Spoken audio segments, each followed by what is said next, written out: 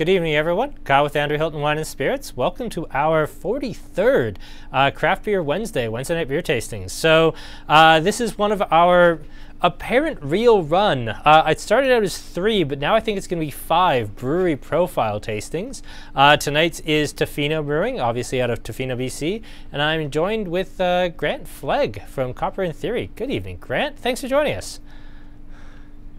Yeah, so Tofino Brewing, founded in 2010 uh, in a town of like 1,900 people, which doesn't sound desperately sustainable for a brewery, but uh, these guys got a real following here in Western Canada. Uh, let's dive into the uh, Dimension Ascension Dry Hop Pale, and why don't you walk us through a little of the history behind Tofino and how you became involved as the importer to Alberta?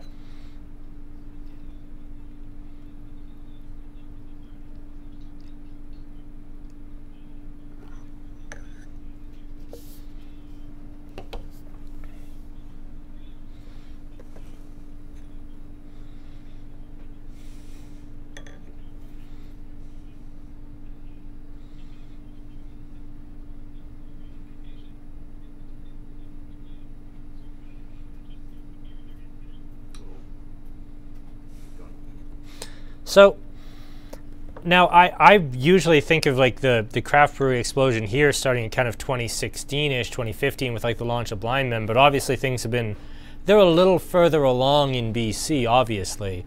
Um, 2011 is kind of just at the start of the craft brewery explosion in BC, I'd say. So now with Tofino, these uh, we've got two very different distinct can styles here. I've noticed um, two different brewmasters kind of are the inventors of these recipes as well.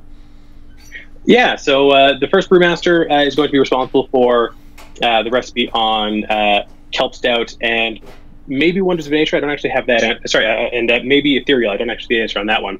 but with the new newest brewmaster Andy, he came in and as his first offerings for the brewery, wrote the recipes for wonders of nature and dimension ascension. Uh, and so that's also why we see a bit of a different art style in those cans. Conceptually, they're uh, supposed to be going together more as they're uh, more modern, hop forward offerings. Well, you say that, and yes, this Dimension Ascension is a little bit darker than I expected, kind of like a super modern West Coast pale. This is more the color I'd expect from like Sierra Nevada Pale Ale. A little more copper in color. I, I dig it. I like a little bit more, more malt forward on some of these. So why don't you walk us through Dimension Ascension here? Uh, so yeah, for uh, for Dimension Ascension here, uh, sorry, I've got uh, got my notes over here um, Dimension Ascension, you, you, can really taste that that more uh, uh, uh, fruity forward note. Uh, very very clear body. You still get a, a, bit of a malt profile to it, um, but nice nice and dry finish. Not too dry, but enough that it really wants you uh, to ask you back for, to keep drinking it. I think it's great for just like you know cruising on the beach as you might do in Tofino. Definitely going for more of that sessionable style. It's not just the um, the very super pale hop juice style that we see these days with, you know, all Citra all the time, low alcohol style beers. Um, this is really earthy. Um, and more so than I'd have expected. Is this uh, maybe some old world hops, like are we seeing Hallertau or Tettnanger or something in here to give us more earthiness, or is that just something that I'm picking up on maybe the water? Uh, could be more of the water profile. It should be uh, largely New World hops in this guy. They are using a little bit of oats, uh, so that might be responsible for that might be uh, nuttiness. It, yeah. Mm-hmm. Yeah, you can often get uh, nuttiness with uh, mostly malt, malted oats. You'll get more of a nuttiness. but yeah, and you wouldn't even think of from again from that color and that clarity of the body. But interesting that you mentioned the water too. There though, the water profile is what they think gives them a lot of their taste in the beer. It's coming from a very specific area uh, so this is the Meares Island Reservoir uh, that they get all their water from, and they do a lot of work with uh, water reclamation at the brewery as well. And uh, uh, yeah, and so it's that that old growth, untouched reservoir that they're getting their water from. A little bit harder water, maybe a little bit of salt being right on the coast there, because I definitely get more, maybe more texture than I expect from like a classic West Coast pale like this. Now again, some of that might be the oats, but yeah, is there a touch of salinity to this? Is there maybe a bit of salt to this that I'm not expecting? Uh, that's a great question. Uh, I'm not sure. Usually, when you get all that coastal water, it, it tends to be pretty soft. Um, so I'm, I'm, they could be adding something to it, or could, that could be the, the, the natural reservoir there. But uh, yeah, uh, also, I mean, with that old growth forest, you're going to pick up all sorts of minerals in the uh, uh, in the earth there. You see, the first time I have you on for an interview, that's when you get all the lowball, like softball questions. Now you get nailed to the wall. oh, tell me about the salinity profile in your water source that isn't actually from your brewery. Yeah. Uh, What's about this? The so first time when you had me on for the yellow dog tasting, that was uh... that was much easier. yeah. oh, easy. Uh, so tell me about uh, Copper and Theory's involvement. Is this one of those breweries that we're only getting now because of COVID? Is this something like, uh, say, Superflux, where we'd normally not get it at all, but you know the tap room being closed is why we're starting to see it, or is this something that's been in and out of Alberta before? Uh, we've actually been supporting uh, Tofino for a number of years now. I, I can't remember exactly how far back uh, at this point, but for my entire involvement and for a number of years before that, we've been working with Tofino. so it's definitely been on the market for quite a long time now over COVID, we did see a bit of a break uh, with them on the market, and that was a choice from them that just uh, uh to more to keep more stuff in house. Uh, they were seeing increased tourism numbers for longer in Tofino, mostly because probably uh, people couldn't actually cross the border to to fully snowbird the way that they want to. So Tofino seemed like the next best choice from there. So uh, they, yeah, they just dropped the production a little bit, and unfortunately, that means that we didn't uh, see any in Alberta. Uh, and but also uh, the mainland, I think, uh, mainland BC didn't see as much as they were used to either. Now, I will be honest, I didn't actually know where Tofino was before yesterday when I started doing the reading on this. It sounds like a really different place. Like it's on the west coast, it's literally the end of the road. A lot of their stuff comes in by seaplane. It sounds like a very special place to be. Um, I, I, grant that, you know, the, the tourism numbers must be the entire reason you can have a brewery there, but um, is it more. They, uh, go ahead. Uh, uh, you'd be actually surprised. They have a really strong and loyal population that's in Tofino themselves. Uh, you know, the, the community tends to rally really hard around the uh, around the brewery, uh, and so I've been chatting to a lot of guys from the brewery, and they say that uh, in the famous Tofino windstorms, or anytime that the power goes out, a lot of the time Tofino has backup generators. People are flocking to the brewery just to, you know stay warm and stay sheltered. And that's actually a thing in winters, like people come to just like storm watch, which is wild to me. Let's just show up for the bad weather, because that's a thing. I don't have enough bad weather at home. I will openly say I've never been to Tofino, so I'm probably completely missing the point. I probably sound like a terrible landlocked prairie pleb, but you know, I, I can't imagine flocking somewhere for the, the terrible weather. It's uh, actually rather gorgeous. I, have never been fortunate enough to be in Tofino while they were having the, the gorgeous storms that people uh, hunt out for photography. Uh, but I, I, did go to Tofino in January last year, and it was snowing on a beach, which was a new one for me. Um, but uh, yeah, even if you just do any amount of googling on these uh, Tofino storms, they are they are something to behold, uh, truly. Yeah. So I imagine that even just in person, that must just feel like a magnanimous experience. Wonderful. Uh, let's jump kind of coolly right along to the Ethereal IPA. Um, walk us through this one, please, sir. So yeah, uh, Ethereal IPA. Uh, for this one, um, new flagship uh, IPA for them. This has only been in the lineup for uh, about a year, I think, at this point. What's uh, maybe a little bit longer. What was the old flagship IPA? so the old one was Hoppin' Cretin IPA, and that was more of the West Coast profile expression. Um, we, I believe, the last I heard, we still will be seeing that one kind of off and on, uh, but this one is taking its place in the flagship lineup. Uh, and so this much more of that modern hazy expression, uh, uh and uh, cashmere and eureka hops are in this one. I'm familiar with cashmere a little, but I'm not that familiar with eureka. What should we be getting on this? Well, with eureka, uh, it's a lot more of that. that's still very uh, a tropical experience with it, uh, tangerine tropical uh, uh, tasting notes. I can see trop. I, I can see tangerine. I could definitely see like mandarin orange as well. And I'd say almost your your big bitter citrus isn't really grapefruit. It's more like key lime. Um, mm. And then I can the, definitely pick up that lime. Yeah, and almost something herbal, fresh mint maybe is, is really it also might be the slightly minty hand soap we have in the bathroom. That's also quite possible. um, no, it's definitely there. There's something marjoram, mint, something very pretty in there. I'm quite liking that. I, uh, I do think this is a gorgeous little IPA, uh, and they do keep the, the bitterness on this fairly robust. Uh, and I, the way that I like to talk about this um, is if you have a wine that's uh, like a red wine that uh, uh doesn't have any acidity, it, it, it, it's, it's the structure's bad. You have to get a flabby wine. I find you get the same with hazy IPAs a lot of the time, where if they don't have enough butter, uh, sorry, uh, bitterness to support the fruitiness of the hops, then it ends up being a bit of that that flabby IPA. Yeah, I won't say which one I had because I actually genuinely enjoyed the beer. But there was a beer, it was a East Coast IPA that to me came off very much like Belgian Moon or Rickard's White. Like it was just, it was all fresh fruit juice, and it it didn't remind me that much of an IPA. It was a pleasant beer, but if I was presented it blind, I'd have called it like a a slightly hoppy Belgian white. It didn't come off like an IPA to me. Uh, and I do like a, a, couple of things about this. Yes, there is still a bit more uh, bitterness, which I do enjoy. Uh, and the alcohol is still very old school cool at 6.7. Uh, I still remember a day when IPA was 7%, uh, and now there's double IPAs at 7.5. Um, I don't know. Do you miss like the the bigger, richer, high alcohol IPAs of yesteryear? Or are you still fine with IPA now be you know five and a half to six?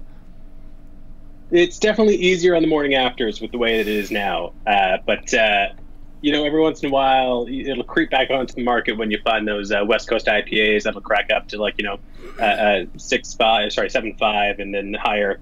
Uh, and those can be I really hit the spot sometimes. But largely, I- am okay with lower alcohol. I'm broadly okay too, but I still like the the little bit of a throwback style because I do like the. It just adds some weight and it adds some power. The little bit of extra alcohol just makes the beer, I don't know, weightier, richer. It, it adds something to me with some of the old school IPAs. Mm. I mean, part of this as well with the with the new hazy IPAs. Uh, maybe we shouldn't be calling them new anymore. Um, Not really, no. I think that we're replacing some of that weight on the palate with the uh, with the thickness of, uh, of uh, uh, the additional dry hopping or, or, or, the oats and wheat that we're adding. Just uh, the physical presence. Uh, and Craig, in answer to your question of how many Volvo 240s you have to own before you can qualify as a hippie, it's three, unless any of them are wagons, at which point it's one. So, ah. How are things holding up for you in uh, Calgary there, Grant? Like, uh, how's COVID treating you these days? Uh, has anything really changed for you in terms of market, other than the fact it's been all retail all the time for the last year? There has been a bit of that. Uh, certainly, staying at home a lot more these days. Uh, uh, venturing out into the into the big disease-filled world only when absolutely necessary. but yeah, really working on the phone banter. It, it's, it's really hard to read people's expressions uh, when you, you can't actually see their faces. Uh, so, really trying to uh, uh learn their tone of voice is uh, is uh, being the, the skill picked up during COVID for me. It's interesting. I try to be very clearly disinterested on the phone. Oh yeah, that's great. yeah, that sounds so wonderful. I'm so excited. No. Um, yeah, there, there's a lot of that. I try to be very transparent when I'm not interested, um, which I think most reps would appreciate. But yeah, no, mm. I. I can't imagine trying to do everything by phone because so much of beer is like, here's the beer, here's why I'm excited about it, get it in your mouth, you're gonna love this, this is why I love this. It's kind Absolutely. of what you and I that's do. Been, that's been the number one uh, uh, weapon in my tool belt for a long time. Is hey man, I'm excited about this beer. Put this beer in your mouth. Let's drink this right now. And uh, that's uh, less of an option now. Now yeah. I have to rely on knowing things, which is that's I don't bullshit. like it. Yeah, I know. I have to do research for these tastings. I mean, on the other hand, people actually come to my tastings now. Before we do in-store tastings, and like the same four people would show up and never buy anything. Now we do a tasting, people actually buy kits, and we interact, and people ask questions, and get guest speakers. It's way better, but I actually have to know stuff. It's terrible. Apparently, people are less intimidated to ask questions, guaranteed the relative anonymity of the internet rather than in person where you might feel like a bit of a yeah i think you're absolutely dead on with that because i certainly enjoy getting questions about things like i again like i did seven hours of research uh, i was actually talking with uh, everybody here will know marissa um, just about an hour before we started the show here uh, and she was like, "Well, how much research do you do for wine tastings?" Like last week's, I did seven hours for the Syrah tasting, and I maybe talked about a quarter of what I actually read up on. But it was just in case you got that weird question you didn't see coming. Yeah, there's a lot of that. I, I love how much I've learned out of doing these for a year. Absolutely. And I'm yeah, sure it's is a great way you. to. Uh, yeah, yeah. I mean, unless you get those curveball questions of how much salt is in the water. Yes, but you know, you you're really going to come to expect those from me. And let's be fair, it's you know it's it's it's a Wednesday night in February. You'd either be doing this and talking cool beer, or you'd be standing at Jim Bob's Discount Liquor. Here, would you like an ounce of Tofino Brewing? Oh no, you're just going to get a 15 pack of Old Mill. Great, en enjoy your Old Mill, sir. Hi, would you like to try Tofino? Because I know that in-store sampling is death for agents. Uh, I've known many an agent who would rather cut their own wrists than do another in-store tasting like that. or do you guys get away from uh, that a little of that? We uh, don't do as much in-store tastings as uh, other agencies are are mandated to do. Uh, so fortunately, we get to be a little bit more uh, picky, and we get to choose which ones we feel will actually benefit the company rather than just be, you know, the cost of the tasting down the sink. Yep, I feel that. All right, let's move on. And we did talk about this a little before. Kettle sour versus stout, and I went kettle sour. This might be the wrong choice, but we're going to go for it. I mean, it's always that uh, the question of which one's going to be more intense, and they're just going to be intense in different ways, right? It's, is it the acidity that's going to wash out, or is it the the rich uh, chocolate notes that are going to uh, be stronger on your palate? Hmm. Craig's got an interesting question, one that I should have asked already. Um, nice malt backbone on both of these beers. What are the brewers going for in terms of expression here? Uh, what are they looking for out of the beers? Are they looking for all hops out all the time, more of a balance? Are they looking to feature the water more? What are you, again, you're not the brewmaster, but what's kind of the philosophy behind the beers? The way that I have always interpreted uh, Tofino's uh, brewing philosophy to be is that they don't really want to make anything that you want to drink once and then run away from, you know. But they don't want the the the, the uh, you to kind of like all the all the mystique to be done away with as soon as you taste it. They want you to be able to drink it and then continue to drink it time and time again. Uh, and I think that they absolutely do a brilliant job uh, at balancing all of the beers in such a way that you do want to come back and and buy it time and time again. As uh, I think is most evident uh, in the peculiar kelp stout that we'll have next. Uh, a lot of people are scared of it uh, on the outset, but then they taste it and they become intrigued and keep coming back and back again for it. But uh, sorry, wonders of nature. Here we are. Oh, I dig that. I'm always surprised, even with um, sours that don't have fruit, just how much fruit comes through every single time. Like I always get kind of ripe peach and everything else. It's it's a very even when there's no fruit, it's a very fruity style, and I'm always surprised just how fruity, even when you know it's been only a week since I've last had one. Oh, and I do like this. I think this is my favorite is, so far. Hmm. It's a it's a gorgeous little beer. I mean, it's coming right out of the gate with those. Uh, uh, I mean, the combination of the dry hopping notes and the the kettle sour notes coming together. Uh, as you were saying earlier for the previous beer, um, uh, uh, some lime notes definitely, and as you noted for this one, peach. Uh, they like to talk about some oak age Chardonnay coming through on this one.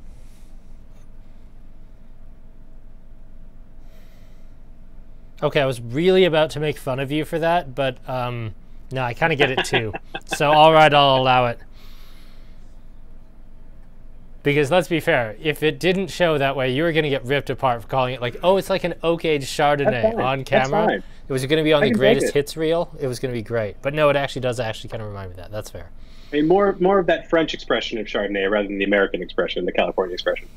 You're getting dangerously close to getting ripped apart again because that's splitting a hair, even on the wine side.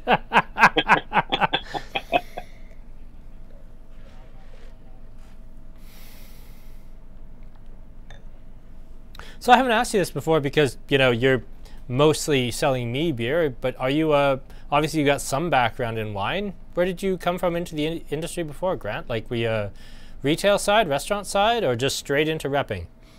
Uh, yeah, no, I did. Uh, I did come from the retail side. Uh, my very, very first gig in uh, in liquor overall, it was about ten years ago, almost ten years ago now, uh, was uh, Sobeys liquor store. that was the very first one. Yep. and that was re- really the foot in the door. it wetted my whistle enough that I knew that I wanted to keep keep doing this and keep drinking this. it was specifically with the craft beer, but unfortunately for the, their beer program at that time wasn't enough to keep me interested. Uh, I, I, think they're doing an absolutely great job. Um, but, uh, but, yeah, but that was back in 2013. I just wanted to shift gears for my own education, and so I ended up going to another store called the Kensington Liquor Cellar. Yeah. Um, and was the beer guide there, and then moved to Highlander, uh, and that's where I started my wine education. Uh, have not kept up on that since I left in 2016, unfortunately. Uh, but still a delight every time that I get to uh, open a bottle of wine with friends. You're right. You were really going to go for the very politic answers. You weren't wrong. but no, you I got mean, you got in for beer and you stuck to the beer. That's fair. I mean, I got yeah, in yeah. for scotch, and now I run beer tastings and wine tastings and occasionally a whiskey event. So, let me tell you, I know little to nothing about scotch, but I get in trouble every time that I drink it, and I love it. Yeah, scotch is a lot of fun. Uh, we're doing scotch again um, three Fridays from today. I actually just uh, I just had a really interesting conversation with Lee Hansen. He just donated a really expensive bottle to our upcoming whiskey tasting, which is both a wonderfully generous and kind gesture and also a huge problem because we sell more than one bottle's worth of scotch tastings at a time. So now I have to open a second one and somehow work in the cost of one bottle across all the kits. It's going to be great, but that was an unexpected, wonderful problem to have drop in my lap. Hmm. Yeah, you know what? It's rare that the IPA isn't my favorite on the lineup, but this is really speaking to me in in a way I wouldn't have expected. Like, I usually like a very like dry, right up front with the hops, very in your face style kettle sour, and this is, or I like one that's very spicy and very you know fruited. Uh, I'm all about Tainted Love by Establishment right now, just that that right. apple crumble thing. This, on the other hand, like this is not normally my style at all but it's really speaking to me. I quite like this. Yeah, I mean, as I was mentioning earlier, um, Tofino really doesn't let anything out of the brewery that they're not really confident in, that they think the balance isn't there for. Uh, and, and, so, yeah, kettle sours get a bit of a bad rap for uh, uh, uh being a little bit basic. Uh, I think that this kind of shows that there is some degree of complexity to be had, uh, even in little kettle sours. Now, with with the understanding you're not the brewmaster, is that a combination of different souring uh, bacterium, or is this just clever hopping all the way down? Uh, I'm just going to say clever hopping. Uh, and certainly uh, moderating your temperatures uh, uh, during fermentation. Now, for those clock watchers among you, I notice we are now through um, three beers in 22 and a half minutes. So um, now would be a great time for questions.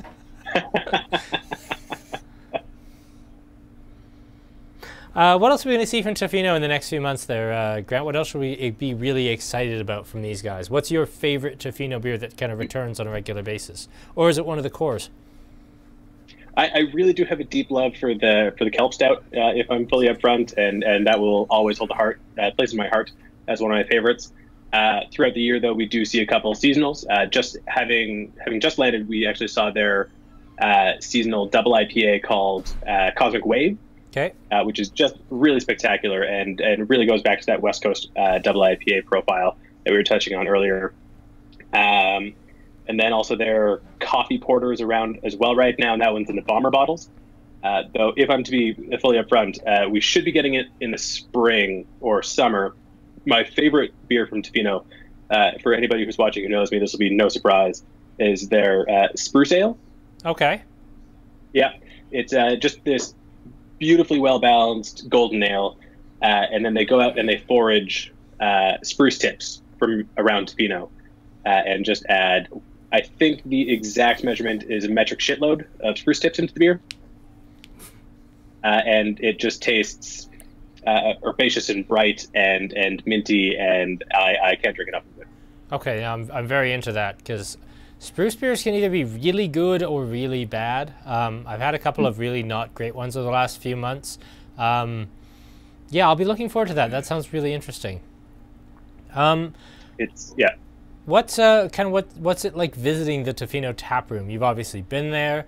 What's the what's the scene yep. like? Is it is it a place that people should visit? Is it a must stop when you're in Tofino?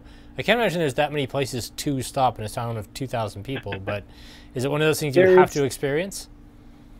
Mean, there are a lot of great places to go in Tofino, but uh, if, if, you're spending a couple of nights there, I would certainly say that it is a place to be. Uh, there's this great community energy that's going on uh, in the tap room, and it's nice and, and bright and modern wood paneling all around.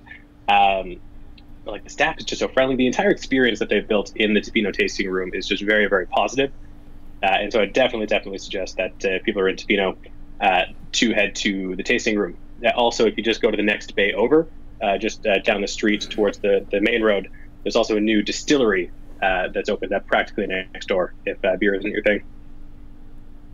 I can't imagine anyone here at our beer tasting would be not into beer, but all right, fair enough.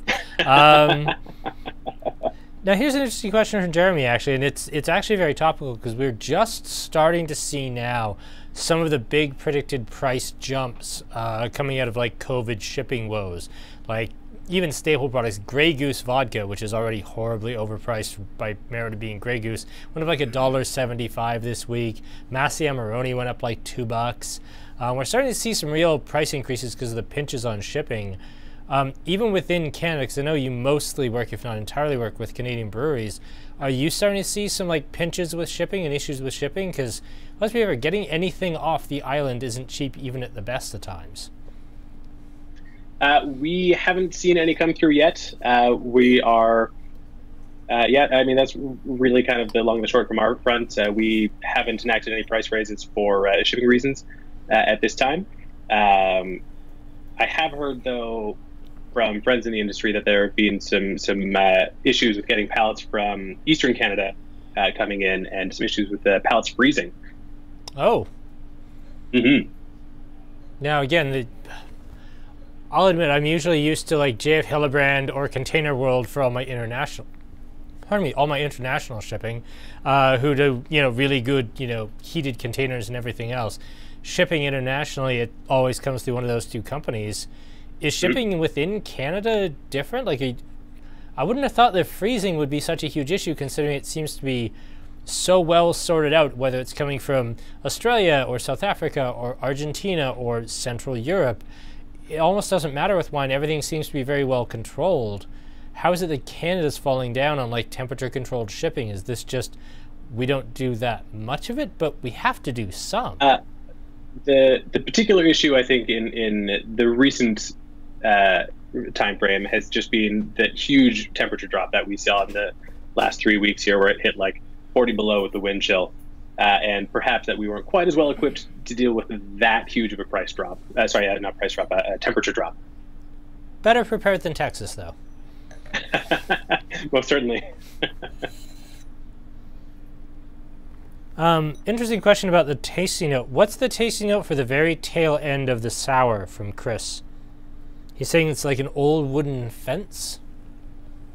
An old wooden fence. Can't say that I've ever picked up on that. And I don't agree with John either. I don't think there's a, a metallic thing. I'll be honest, Chris, I'm not getting something like particularly woody. I'm not getting something really dusty. I'm just kind of getting the fruit and the hops right to the end. Now, there can be uh, uh, different people affected by different tastes in different ways, clearly. Absolutely. Uh, this could potentially be one of those uh, moments where uh, uh, one person's coriander is another person's soap. Absolutely, you know? yes. my partner is particularly susceptible to if uh, farmhouse beers are fermented too warm, she really picks up a big uh, nail polish remover uh, note in beers. And we all have different palate days. Like uh, we had an agent in here last week, or yeah, it was last week. Um, and I genuinely, I came out, you know, thanked them for coming in. Hey, I can't wait to take, try your stuff. Got two glasses in. One was a Spanish Red, one was a Sonoma Merlot. They tasted exactly the same to me thanked them for the time and sent in Devin because he could actually taste something that day. Uh, by the same token, Devin, uh, he and I were having wine after work on Monday, and he just straight up apologized and said, You know what? I think I'm just in a bad mood and I'm being really mean to these wines. Um, he came back today. He's like, Yep, actually, that wine was fine. That wine was actually very good. I was just not in a good mood and I was being really harsh to the wine. It, it really, palate's so variable. It's wonderful that way. Yep. Yep, absolutely small changes in your day can dramatically change your perception on uh, on different uh, or on the same product. Any chance of a Crannog backhand of God standoff? Ooh. Do I want to do another Imperial Stout week? Um, God, doing these like live on camera and doing Imperial Stout is a thankless task. I do like that beer. I genuinely do like Backhand of God. I just I don't know if I can do another Imperial Stout week. We have an Imperial Stout coming. Uh, we're doing Situation here in a couple of weeks, and we're to do their Sex Palace Imperial Stout. And I'm already like dreading that, and that's one beer two weeks out. I never want to do another Imperial Stout week. No, just never again. Thank you. Um, not because they're not delicious, just because I have to do this for a living and make sense on camera. Uh, I'm just going to take a quick break here, Grant, just talk about what's coming up next. Uh, gonna start with Friday night. We still have a handful of our grappa tasting kits left. Uh, and this is my entirely self-indulgent, I wanted to do it, and I'm going to do it because I wanted to tasting. Um, we are doing grappa, so a very particular style of brandy from Italy, either completely unaged and clear or lightly aged. Um, grappa is, these days, probably even ahead of Scotch, my favorite spirit. Uh, we're still working on a guest because our original guest bailed on us, but I mean, this is this is a passion project for me. This is something that I've wanted to do for a long time. I'm finally getting to do it. Realistically, I'm probably not going to get to do it again because sales for this have been pretty good. I don't know if we're going to sell out, but it's been pretty good. Um, this is just a one-off. I had to do it. It's going to be a lot of fun. Uh, tickets are 35 for this one. Uh, it's going to be 30 maybe. Actually, Darn it, I can't remember. I, tickets are either 30 or 35. I actually think, on further reflection, these might be 30. Uh, but yeah, I'm really looking forward to this one. So that is Friday night.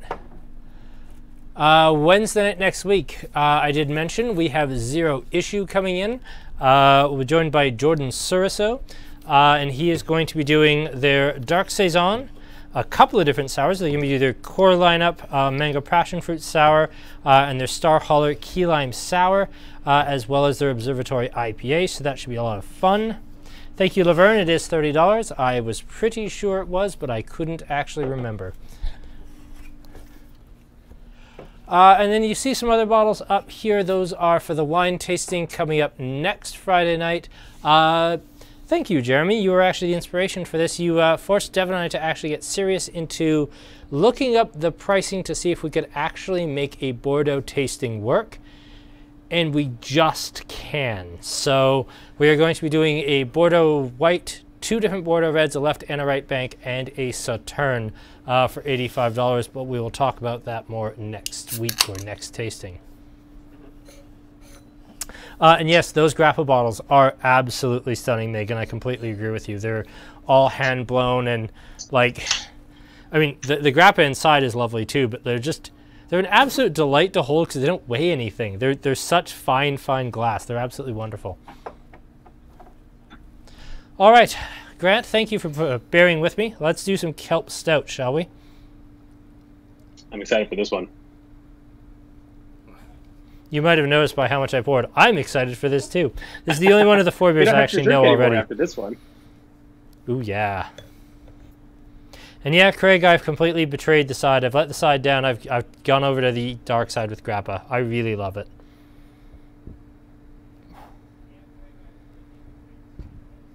Makes sense. Come on, Craig, be nice.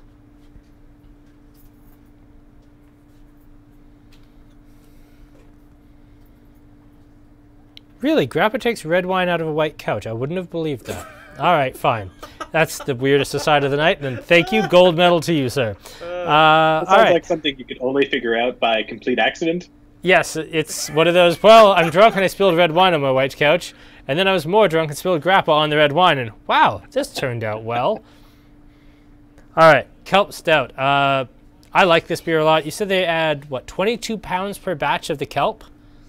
22 pounds, 10 kilograms per uh, batch of, uh, of kelp to this. And how big is a batch? Like how much? Uh, how much? Uh, how many liters are we talking about in terms of I 10 kilos? I cannot recall the exact size. They're they're about this this big of fermenters. I'm, I'm stretching my arms out all of the way around, and it's still. Uh, I believe they're more than 30 heck batches. Okay. Uh, but not not more than 60. Oh yeah. And so the, uh, story with this one is actually really interesting. Uh, so this is uh, uh, this dates back pretty much all the way back into Pinot history, and uh, the idea was that they wanted actually to make an oyster stout uh, using oysters that they found in, that they were able to get from Tofino, and then in the process of developing this beer, found out that they were allergic to oysters. Oh, oh, that's bad. Yeah, I, I, that would really throw a wrinkle in your plans. Yes. Yeah, and uh, so that uh, forced them to pivot. They still wanted to stay very uh, ingredients from the land, uh, and they were able to find a local farm that or local supplier uh, harvesting kelp, and uh, and it's worked out beautifully, as as you can tell from this guy. I'm taking aside because we have a really interesting question from Chris Hunt here. Uh, what is Grant or Artisan Beer Supply, uh, Grant's actually with Copper and Theory, uh, fit in with Liquor Connect in the Alberta beer liquor store world? Uh, for someone with no understanding of how this all works, please tell me I didn't get that wrong. You are with Copper and Theory, right? Copper okay, Theory, you good. Then I didn't horribly ruin everything. Good. Um, so how it basically works is um, let's start with Tofino. So Tofino brews the beer. It's in BC. They have a BC registration. It's sold within BC, um, but it's not in Alberta yet. Um, so Grant will buy the beer from Tofino, ship it up to St. Albert, uh, make sure it complies with Alberta liquor registration laws, which are basically the same as BC's by and large. Um, and then basically it's stored up at a big warehouse, which is Liquor Connect, which is a big distribution arm of the Alberta government basically when I go to order the beer, um, and Grant is the only person who sells it to me. The Alberta government doesn't like try to sell anything. They have no sales division. If you don't order anything, they don't care. So they're never going to tell me that Tofino exists or that Grant exists. None of that. So basically, Grant sells the beer to me. I go to buy it from Grant, but I actually buy it from the Alberta government who takes my money, turns around, then buys it from him, and then sells it back to me, adding on the tax.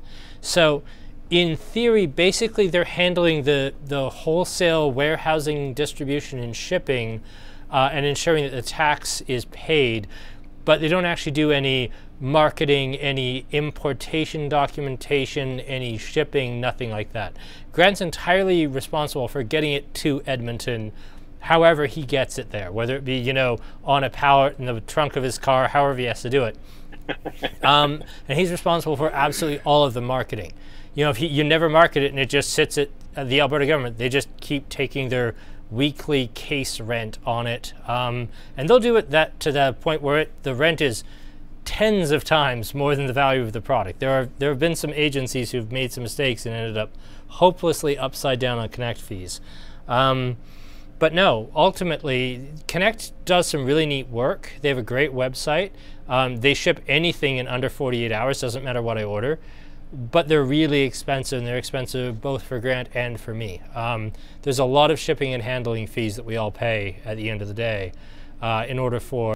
Well, you missed my really boring lecture about Connect Logistics, so you really didn't miss anything at all. From what I heard, you did a great job. Okay, good. I, from everything I heard, you absolutely nailed it.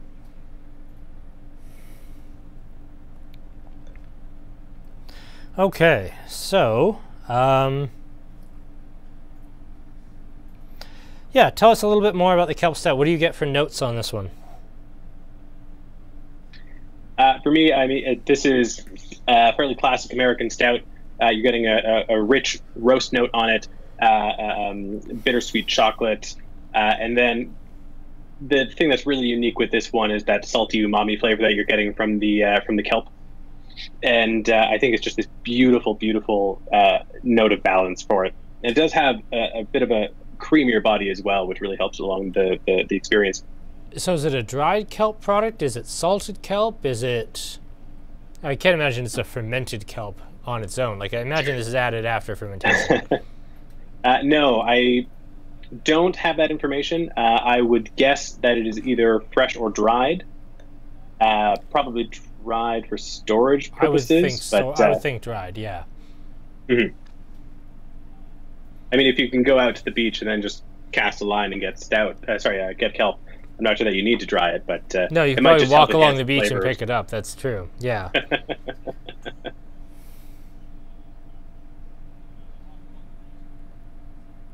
hmm.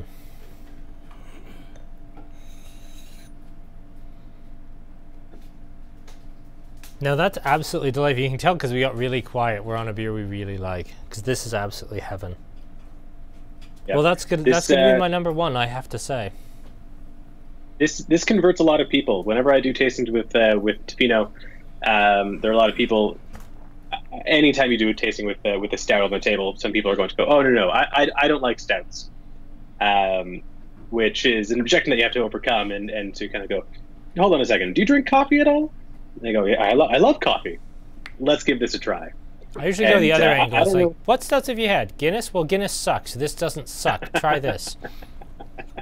Uh, but uh, I, I do find that I don't know what it is if uh, uh, uh, for the first purchase, whether it's just sheer intrigue when they see it on the shelf and they see kelp stout, or if they see Tofino and they just think, "Man, I love Tofino. What a great place!" and they buy it out of uh, uh, some, some nostalgia. Uh, but they try it, and people just absolutely love the beer, and they keep coming back and back and back for it. And I mean, when you do taste it and taste this good, I buy it that much too. Yeah, I can completely see the repeat business on the kelp stout. I think the kelp stout's going to be the one, at least from my side, that we're going to be bringing back on the regular. Um, my rankings actually are uh, exactly the same as Deirdre's, which is happening more and more these days. It's a little weird. But uh, yeah, uh, for me, it's 4 3 1 2. Um, oddly enough, the IPA, which I really did enjoy, I loved that it was a little high alcohol and I loved that it was a bit of a throwback. I liked everything else a little bit better. I really love the sour and the stout, and between these two, I could see myself reaching actually for the uh, Dimensions Ascensions. So, yeah, I, I quite liked that. Hmm.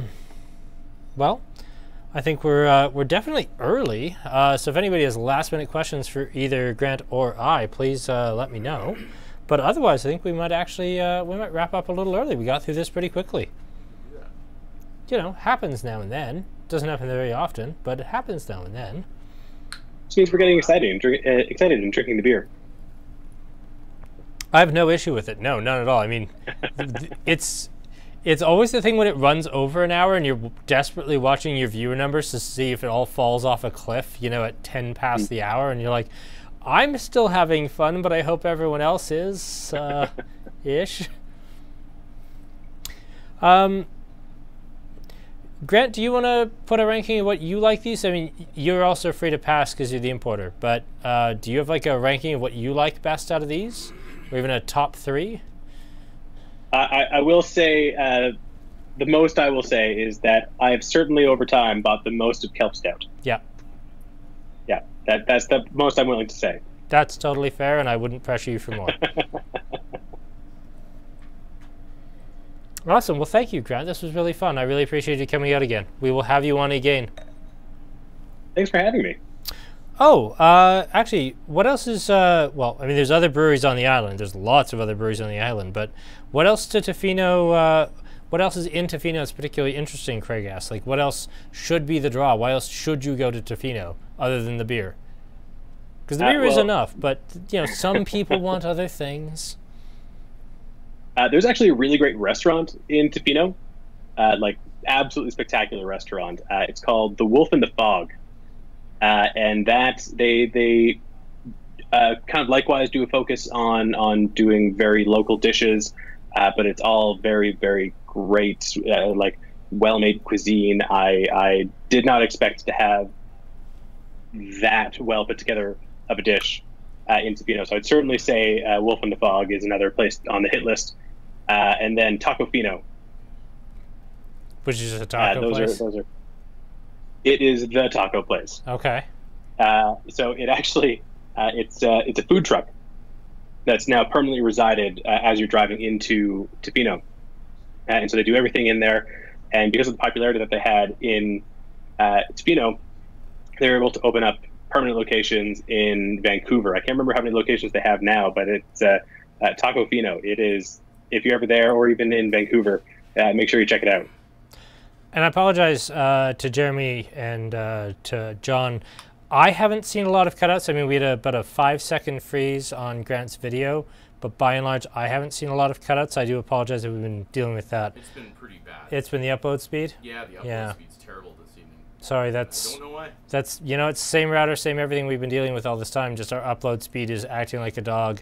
Um, compared to Outcast, it's going well. Um, but uh, no, you know, for whatever reason, just our upload speed sucks for tonight. Same everything we've used for the last year. Just tonight, it's dogging out. Don't know why. Um, Mike asks, uh, Euclid, Euclid, quello it. Thank you. Uh, recommendations for there. Uh, you know, I've never. Uh, we didn't actually go south to go to uh, uh, Ukee when I was there last. Uh, I do believe that they have another new brewery that's just opened up uh, for uh, Ucluelet Brewing. Um, I've not tried the product myself, um, but try the stuff, see if you enjoy it. Is always my recommendation. Uh, but past that, I can't really speak too much about uh, Euclid. Euclid. Fair enough. Yeah. Yeah, and apparently that's the that's the word I'm not prepared to say on air. We've managed to get through a lot of different stuff from France and South America and everything else, but apparently that's the word that threw me. Um, oh, Ukee, this is that's an all you have to interesting question. Ukee. We're yeah, we're ten away from our tasting anniversary, our 52nd tasting. Um, yes, Craig, there is definitely something planned. Um, Dev and I actually had a conversation about this on Monday, and Aaron and I actually talked about this either last Friday or last Wednesday. I think it was last Wednesday. We talked about what we wanted to do for our one year anniversary of beer tastings. Uh, and I think we actually took a week or two off over the last year. I think only one. So uh, I think it'll actually be beer tasting 51 will be a year. But yes, we've already started having conversations. We're gonna start up, you know, hitting up agents and saying, "Hey, would you kick us some beers?" Um, maybe Grant. Don't know if it'll be Grant. Maybe. Um, but yeah, we're we're gonna try and make this like a five dollar ticket price, but with all like super insane stuff. We're gonna try to make our one year anniversary really something. Uh, we've already had some conversations about what we can do. Maybe get some free glassware. Where, you know, my ideal would be you'd pick up your pack and get four beers for five to ten dollars, and also get like some really great glassware out of it, or some stickers, or something interesting to get a, a real big thank you for coming out for last year. Don't know exactly what we're going to be doing yet, but it's already in the conversation, kind of nine, ten weeks out. So we are talking about it. All right. Well, I do apologize again. Uh, food pairings. Ooh. I mean, all over the map with these. I still like anything hot and spicy with bitter, even though it's not technically a great pairing. I just like them together. Uh, sours. I kind of think sours go with most things. I really like salads and sours. Uh, and then stout. I just like red meat with stout. Uh, you can also go pretty desserty with a stout. You can, absolutely. Uh, stout floats are an absolute massive pleasure of mine. We tried doing one on air, and then I bought the worst vanilla ice cream known to man, and it was super oily and separated in the glass, and was absolutely revolting. Uh, here's a great question: How many different breweries are you repping for, Grant? And do you have anything new that you're adding to the catalog? Like, talk about what you've got coming in for the next little bit, and just uh, tell us what you're excited about that everybody should be getting on board with, and we should be doing kind of for our next tasting in a couple of months here. Yeah, uh, I mean, we have got we have onboarded a couple new breweries in the last couple months here, uh, and with one more on the way. So going back to December, uh, we did get our first uh, Alberta brewery into our book. Uh, we used to work with U.S. breweries and uh, have been only BC for quite a time, uh, but now we're working with Tail Gunner out of Calgary, uh, and they've actually just uh, started brewing out of their own facility now. Uh, they were contracting out of Field and Forge before, but Oh, Blake finally got Gunner the has, uh, gear working. yeah, and uh, so yeah, they're uh, going to be mainly lager focused as far as the brewery is concerned, uh, but they are making some absolutely great stuff. Um, they, uh, the brewmaster from there, uh, Blake, as you mentioned, uh, he actually used to work at uh, Godspeed in Toronto. Uh, and so he makes some absolutely incre- uh, incredible beer. Uh, Lyndon Stevenson is one of my favorite pilsners that's coming out of Alberta. Um, Everybody here is So familiar really with excited. A. Blake's connection to Godspeed because he was a special guest for our Godspeed event, and B. We've done that Pilsner twice, so we're we're right there with you, man. We're right there with you. Uh, so yes, uh, uh, we're working with. Uh, through December, we picked up two more breweries. Uh, Île Sauvage from uh, Victoria, uh, and they are a sour and farmhouse specialty brewery. Um, and so lots of great stuff coming from them. Uh, Strathcona Brewery out of Vancouver, uh, and they do a lot of hazy IPAs and uh, fruited sours as well. Uh, and then most recently, we did just have our first shipment of Superflux Brewing, uh, land in Alberta, which we are incredibly excited about Me too. and uh, the market the market's being responded to that incredibly well so far. Um, and uh, then next week, we're actually very excited because we are taking over our second Alberta brewery just for the southern Alberta market, uh, and that's going to be Trial and Ale out of Edmonton. oh, that's exciting. I've heard good things Mhm. but never tasted it.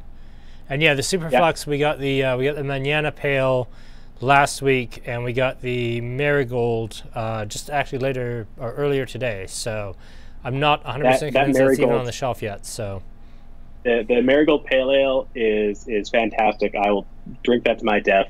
It is Mosaic and Nelson Sauvin hops, uh, and Nelson Ooh, Sauvin is one of my favorite Sauvin. hops. Yeah. Oh, it's so good, isn't it? I know. It's Uh, just and, it's one of uh, those yeah. perfect ones.